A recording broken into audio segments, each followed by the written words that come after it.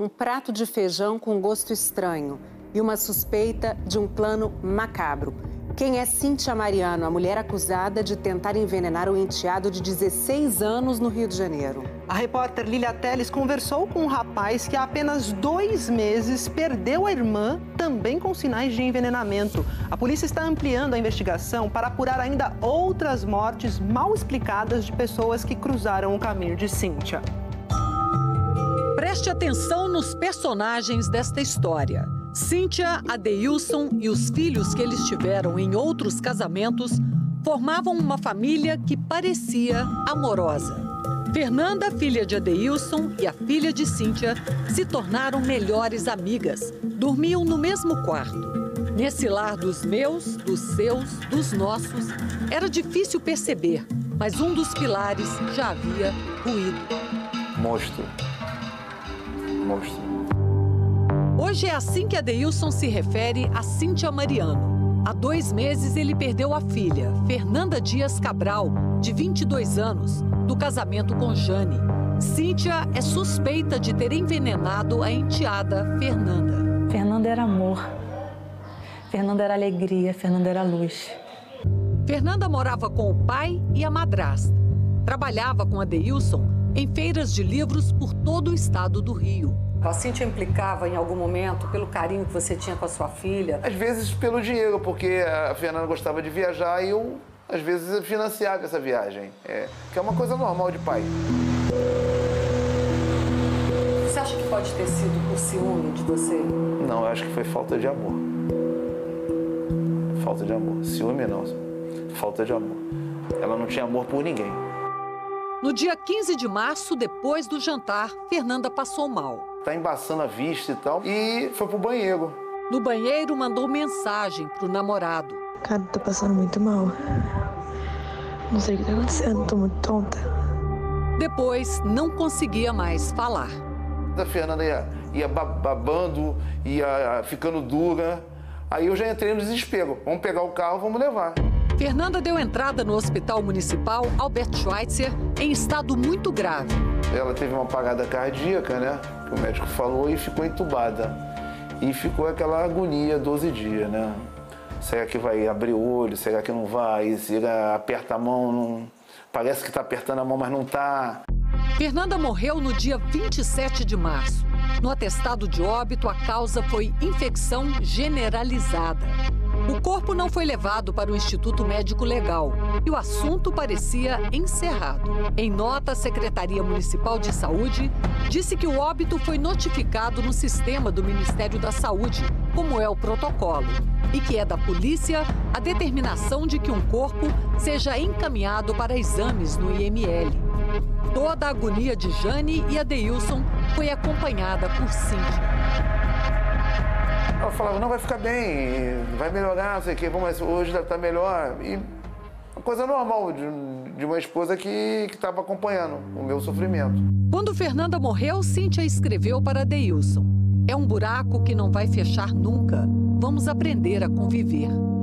Dois meses depois, o desespero voltou à família. No dia 15 de maio, o Bruno, que é o segundo filho do Adeilson e da Jane, almoçou na casa do pai e da madrasta. Poucas horas depois do almoço, quando chegou em casa onde mora com a mãe, ele começou a ter os mesmos sintomas da Fernanda. O Bruno contou a Jane que desconfiou de um feijão servido no almoço. Bruno contou para a mãe que Adeilson e os filhos biológicos de Cíntia também estavam na mesa, mas que só ele, Bruno, foi servido pela madrasta e que havia pequenas pedrinhas azuladas na comida. Quando ela ficou toda, toda nervosa, desesperada, pegando meu prato, aí eu já, já sabia que tinha algo de errado. Ela pegou meu prato, ela retirou as bolinhas que eu cheguei a separar e botou mais feijão. Bruno comeu pouco, foi embora e já em casa começou a passar mal. Eu, na mesma hora, eu olhei no olho dele e falei assim, filho, a Fernanda, não faz isso comigo não. Os sintomas eram iguais aos da Fernanda? Iguais a tonteira, ele molhado de suor. E logo depois ele não conseguia mais falar, ele já, já pedia água com a língua enrolando. E dali foi onde que eu, eu, que eu me alertei. Já estava entendendo o que tinha acontecido com a Fernanda. Cíntia conhece Bruno desde antes de se casar com a Deilson. O Bruno, ela foi do transporte escolar, o Bruno foi do transporte escolar com ela. Ela conhece, conhece o Bruno há 11 anos. No exame de corpo de delito de Bruno, a suspeita é de envenenamento e tentativa de homicídio. Alertada pelo hospital, a polícia começava a investigação e as buscas na casa de Cíntia. Ali foi apreendida uma pequena quantidade de veneno contra ratos.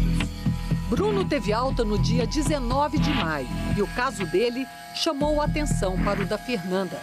O corpo dela foi exumado na última quinta-feira em busca de sinais de envenenamento. O resultado sai em 20 dias. Entre os depoimentos colhidos pela polícia, um se destaca: é do próprio filho de Cíntia. Cíntia disse para o filho que colocou o prato de comida de Bruno e, em seguida, colocou chumbinho no feijão do prato dele. Chumbinho é um dos venenos contra rato. O filho disse mais que Cíntia afirmou que fez a mesma coisa com Fernanda, colocando chumbinho na comida dela. Cíntia teria tentado inverter a situação.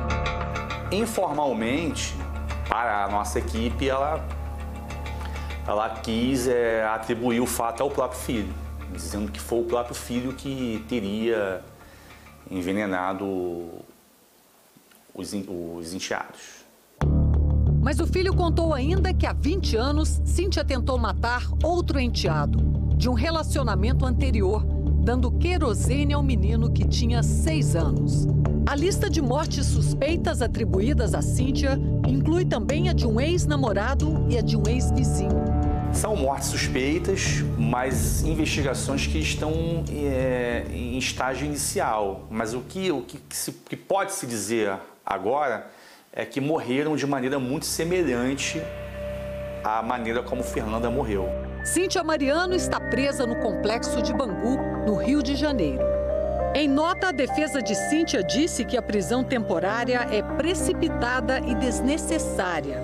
Os advogados negaram que Cíntia tenha confessado ao filho ser a autora do envenenamento dos enteados. Que ela pague, que ela pague. Porque ela chegou dois sonhos: de um pai e numa filha. Entendeu? Eu tive um sonho de uma filha viver junto com o pai trabalhando. Isso ela não. Isso não tem preço. Como é que vocês vão conseguir se reerguer, faltando esse pedaço tão importante na vida de vocês?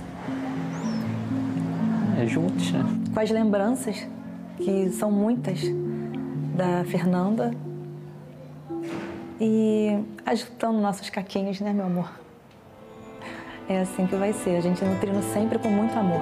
A minha vida daqui para frente, Lina, é o meu trabalho com os livros, entendeu? É que em cada feira que eu vou fazer, que eu vou ter, pelo menos ela vai estar do meu lado, assistindo.